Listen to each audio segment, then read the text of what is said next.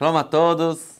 Estamos essa semana Parashat Matot Mas'e, duas parashiot temos. Hoje, Bezat Hashem, vamos falar sobre um assunto do Parashat Matot. Um dos assuntos que está escrito na Parashat, está escrito sobre a história dos dois tribos, dois tribos e meio, chamava Bnei Gad e Bnei Ruven, que eles tinham muito gado, eles precisavam de um lugar com pasto, um lugar com comida para o gado deles, era no lado direito do Jordão, onde o povo de Israel está agora esperando para entrar na terra de Israel. E eles se aproximam para Moshe Rabbeinu, eles falam para ele, olha, que lugar maravilhoso aqui, um lugar com grama, com tudo, e muito bom para nosso gado. Por favor, a gente quer receber nossa herança aqui. Verdade, Moshe Rabbeinu, no início, ele fica muito bravo. Ele fala que vocês estão exatamente como os espiões que não queriam entrar na terra de Israel. E aí ele fala para eles, olha, se vocês vão ser os pioneiros, vocês vão ser na frente quando o povo de Israel vai fazer a guerra com os outros povos para conquistar a terra de Israel. Então vocês vão poder voltar para o lado direito do Jordão e receber esse lugar como herança. Sim? E nossa pergunta é a seguinte: vamos entender bem. Esse lado direito do Jordão, será que é considerado Eretz Israel? Se é considerado Eretz Israel, então não tem, não tem nada. Moshe Rabbeinu conseguiu chegar lá, Rabbeinu então entrou na terra de Israel. Aparentemente não é considerado Eretz Israel. Se não é considerado Eretz Israel, o que adianta de fazer a guerra, de ser os pioneiros, de ir na frente? O que adianta isso? Ainda o lado direito do Jordão não é Eretz Israel, porque eles vão poder receber esse lugar como herança. Ainda você deixa Gad e Reuven num lugar que não é Eretz Israel. Agora, também a gente precisa entender qual é a comparação para os espiões. Os espiões tinham medo, falaram mal da terra eles falaram mal da terra. Então, qual é a comparação? Negando Neruven queria um lugar para o gado deles. Mas não tem nada a ver aparentemente com os espiões, porque ele está comparando eles com os espiões. Então, para entender isso, vamos entender um ponto importante que fala um comentarista Kli Yakar na Parashá de Shelach Lecha ele fala uma coisa muito importante para entender o grande erro, a raiz do erro dos espiões. E a raiz ele fala o seguinte: a frase mais difícil que os espiões falaram, a, a, a coisa feia que eles falaram, eles falaram uma frase Eretz Ochelet Yoshver. É uma terra que, que come, que consome as, os habitantes dela. Isso que eles falaram. Isso é uma frase muito forte. Mas nossos sábios falam que é verdade, eles viram que muitas pessoas estavam morrendo quando eles estavam lá. É verdade, isso assustou eles. A gente sabe que Hashem fez de propósito para poder proteger eles, que ninguém vai perceber que estão lá. É verdade. Mas de outro lado, de fato, eles viram muitas pessoas morrendo. Então, qual é o erro deles? Eles trouxeram essa informação que aparentemente a Terra tem uma epidemia, tem uma coisa ruim lá. Eles não poderiam entender diferente. Qual o erro deles? Fala o Kliakar, ele fala que o erro deles, que eles achavam que a terra que controla as pessoas, a terra que influencia as pessoas. Achavam que se as pessoas morreram não é por causa deles, não por causa do que eles estão fazendo e o que eles não estão fazendo, é por causa da terra. Então, se a terra está ruim, então para que ir lá? Mas verdade, tudo depende das pessoas. Se eles morreram lá, é por causa que eles fizeram coisas erradas? Então, tudo depende das pessoas o que eles estão fazendo, não depende da terra. Por isso, que fala Kalev Yefune, ele fala Alonale, duas vezes. Alonale, vamos se elevar, vamos ser pessoas mais elevadas, a gente vai conseguir entrar na terra. Que Achol Nuchal, que a gente vai conseguir para ela, quer dizer, tudo depende de nós, não depende do lugar, depende de nós. Isso que o, o Kliakar explica o erro dos, dos espiões.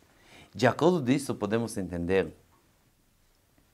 A gente vai ver que quando o Bnegan de Reuven estão indo pedindo esse esse lugar, esse lado direito do Jordão, eles falam assim: Gidrot son nivne lemiknenu po varim letapenu. Vamos fazer lugares, vamos criar lugar para nosso gado e cidade para nossos filhos. E Moshe Rabbeinu fala, não, Vnulachem arim letapechem. Primeiro precisam construir cidades para seus filhos e depois lugares para o gado de vocês. Então, qual a diferença? A diferença é que o Bnei Gad e pensaram primeiro sobre o material, sobre o lugar para o gado, e depois sobre o espiritual. Fala Moshe Rabbeinu, primeiro o espiritual e depois o material. E isso é muito importante. Moshe Rabbeinu, ele fala para eles o seguinte, se vocês vão pensar primeiro sobre o, o espiritual, vocês vão ser pessoas espirituais. Se vocês não vão pensar sobre o conforto de vocês, vocês vão pensar sobre todo a missão, vocês são os pioneiros que vão ir na guerra. Vocês vão ter uma imuná forte que vocês vão ganhar vocês não vão morrer na terra porque Hashem ajuda vocês. Isso é a ideia dos pioneiros. Ser uma pessoa que o pioneiro é uma pessoa que é pronto e tem uma imuná, que Hashem está com ele. Então vocês vão ser pessoas espirituais. Então vocês vão poder definir que também no lado direito do Jordão, também esse lugar vai se transformar como Eretz Israel. Incrível, tudo depende de vocês. Se vocês vão ser pessoas espirituais, vocês conseguem controlar e definir a terra. Que esse lado direito do Jordão vai ser Israel. E isso a gente sabe que no final, lado direito do Jordão é considerado para muitas coisas como Eretz. Não é 100%, para muitas coisas é considerado como Eretz Israel. Por quê? Negado Neruven conseguiram, eles foram na guerra, pioneiros, com toda a imuná, com toda a espiritual, conseguiram mudar o lugar, conseguiram fazer o lugar outro lugar. E para entender isso, é isso que é a comparação entre os espiões. Não faz o mesmo erro que os espiões achavam que a terra, o lugar que faz, que, que influencia as pessoas. Não, vocês que fazem um lugar.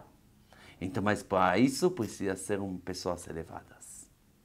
Para entender isso um pouco mais, pouco mais profundo, a gente sabe que quando Hashem criou o homem, falou Naase Adam, vamos fazer de você um Adam. Ele falou no plural. Por que no plural? Fala o Baal Shem Tov. Ele falou para o ser humano, vamos juntos fazer de você um Adam. Vamos juntos fazer de você Adam é o símbolo de alguém que coloca o espiritual antes do material é uma pessoa elevada. Como? Nos sábios falam assim, Adam, a letra é Aleph Dalet Mem. Aleph Dalet Mem é o Dam, o sangue, a parte principal da pessoa. É verdade, a gente tem, tem três parceiros na criação do homem, que tem pai e mãe, e tem a Kadosh Baruch Hu, Hashem. Dam, que é a parte do corpo mais importante, isso o pai e a mãe que está trazendo. Dam é 44. Pai é Av. Abba pode falar também Av, que é 3. Ima, que pode falar também M, 41. Tudo vira 44. Dam é a parte do pai e a mãe. Aleph, que 1, é Boreolam. Sempre colocar o Aleph antes de Dam. Sempre colocar o espiritual antes do material. Por isso, nos sábios falam que alguém que come antes da tefilá e está comendo sobre o sangue. E não comeu sangue. que você está chamando ele de comer o sangue? Falaram, mas não, ele comeu. Quer dizer, em vez de, de rezar antes, em vez de colocar Hashem antes do dam, antes da parte material, ele colocou a parte material ele comeu antes de rezar. Por isso, a dama é considerado uma pessoa elevada. E quem é feminino, como se fosse do Adão, é a Adama. Nos sábios falam assim, se um Adão é elevado, ele consegue controlar a Adama. Ele está em cima do Adama. Mas quando o Adão Arishon pecou, o que aconteceu? Aí criou a história que a Adama que está controlando a pessoa e uma pessoa vem ser enterrado embaixo da terra. Por quê? Porque isso é o que o pecado faz. Quando uma pessoa é elevada, sempre ele fica em cima da Adama. Quando uma pessoa ele é elevado, ele tem essa força de definir o lugar. Pode mudar totalmente o lugar. O lugar recebe a identidade somente depende das pessoas que estão ali. Por isso a gente pode entender que Eretz Israel e Jerusalém não estão escritos na Torá. Quando está escrito Israel, está escrito referente ao povo de Israel, não está escrito sobre a terra de Israel. E a pergunta por quê? Por que não está escrito claramente sempre o lugar que Hashem vai te levar? O lugar que Hashem vai te levar, por que não está escrito? A resposta é a seguinte: quando o lugar, o nome do lugar que define o lugar, só recebe o nome dele depois das pessoas que entram dentro dele. Antes disso era Eretz Kenan, por quê? Porque o primeiro que estava lá, que é Kenan, não vai receber o nome da terra, se, da terra se o Am Israel não entrou lá. Também Jerusalém.